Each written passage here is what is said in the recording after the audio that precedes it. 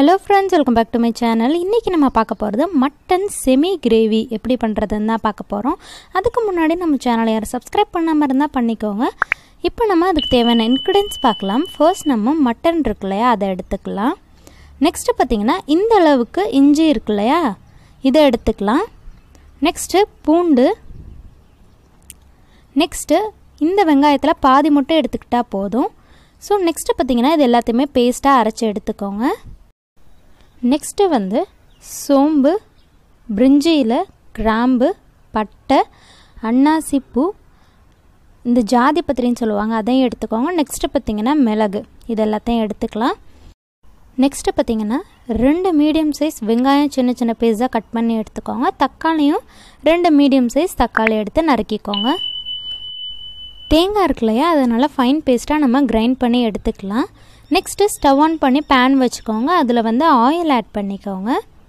So oil வந்து நல்லா காய்ஞ்சிடணும் so நல்லா வந்து காஞ்சதுக்கப்புறமா நம்ம இதில் பட்டை அன்னாசிப்பூ பிரிஞ்சியில் இது எல்லாத்தையுமே எடுத்து வச்சோம் இல்லையா அது எல்லாத்தையுமே ஆட் பண்ணிக்கோங்க. இதெல்லாம் நல்லா பொறிஞ்சு வந்ததுக்கப்புறமா வெங்காயம் இருக்கு இல்லையா அதை நம்ம ஆட் பண்ணிடலாம் ஸோ இதனால் ப்ரௌனிஷ் ஆகுற வரைக்கும் நம்ம வந்து ஃப்ரை பண்ணிக்கணும். இப்போ பாருங்கள் இந்த அளவுக்கு ப்ரௌனிஷ் ஆனதுக்கப்புறமா இஞ்சி பூண்டு வெங்காயம் இதெல்லாம் பேஸ்ட்டாக அரைச்சி எடுத்தோம் இல்லையா? அதை நம்ம இது கூட ஆட் பண்ணிடலாம் ஸோ ஆட் பண்ணிவிட்டு இந்த பேஸ்ட்டில் இருக்க நல்லா பச்சை வாசனை போகிற வரைக்கும் நம்ம வந்து ஃப்ரை பண்ணிக்கணும். ஸோ அந்த பச்சை வாசனைலாம் போனால் தான் நம்ம குழம்புக்கு வந்து நல்ல ஒரு ஸ்மெல் கிடைக்கும் டேஸ்ட்டும் நல்லாயிருக்கும் ஸோ அடி பிடிக்காமல் மிக்ஸ் பண்ணி விட்டுக்கோங்க. ஸோ பாருங்கள் நல்லா வந்து ஃப்ரை ஆகிடுச்சு நெக்ஸ்ட்டு நம்ம தக்காளியும் ஆட் பண்ணிடலாம் ஆட் பண்ணிட்டு நல்லா வந்து ஃப்ரை பண்ணிடலாம் இதையும்.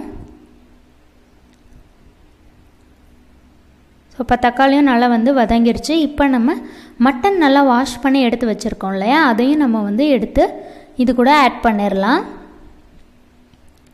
ஸோ ஆட் பண்ணிவிட்டு நம்ம இந்த மட்டனையும் ஆயிலே வந்து ஃப்ரை ஆகணும். அதனால் நல்லா வந்து மிக்ஸ் பண்ணி விட்டுக்கோங்க. ஸோ இது நல்லா ஃப்ரை ஆகிட்டுருக்கட்டும் இதுக்கு தேவையான பவுடர்லாம் நம்ம எடுத்துக்கலாம். ஸோ வந்து ஹாஃப் டேபிள் ஸ்பூன் வந்து பெப்பர் இருக்கு இல்லையா அதை எடுத்துக்கலாம். நெக்ஸ்ட்டு ஒன் டேபிள் ஸ்பூன் வந்து சோம்புத்தூள் எடுத்துக்கலாம்.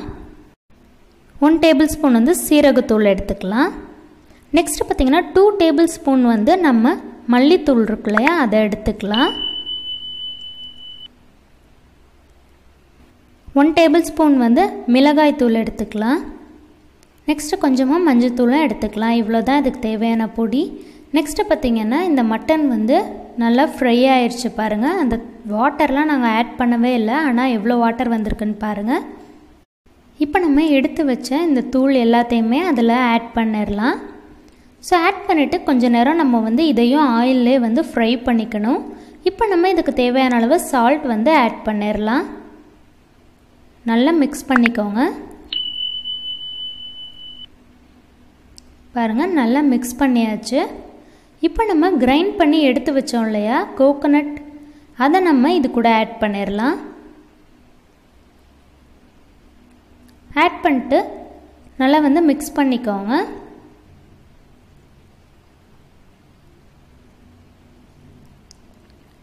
இப்போ நம்ம கொஞ்சமாக அதில் வாட்டர் வந்து ஆட் பண்ணிக்கலாம். ரொம்ப ஆட் பண்ண வேணாம். ஏன்னா நம்ம இன்றைக்கி வந்து செமி கிரேவி தான் வந்து வைக்க போகிறோம் ஸோ அதனால் கொஞ்சமாக ஆட் பண்ணிக்கோங்க.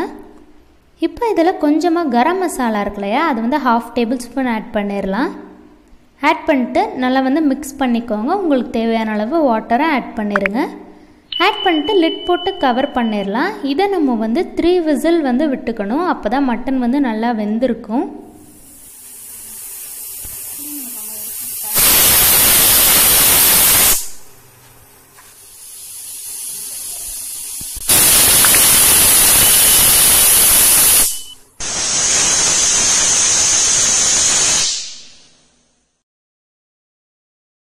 இப்போ பாருங்கள் த்ரீ விசில் வந்துருச்சு. ஆவியெல்லாம் போனதுக்கப்புறமா நம்ம இதை ஓப்பன் பண்ணி பார்த்துடலாம். ஸோ பாருங்கள் ஸ்மெல் கூட ரொம்ப சூப்பராக இருக்குது பாருங்கள் பார்க்குறதுக்கும் எவ்வளோ சூப்பராக இருக்குன்னு. இப்போ நம்ம ஸ்டவ்வை ஆன் பண்ணிடலாம். ஆன் பண்ணதுக்கப்புறமா இதை நம்ம கொஞ்சம் நேரம் வந்து பாயில் ஆக வைக்கணும்.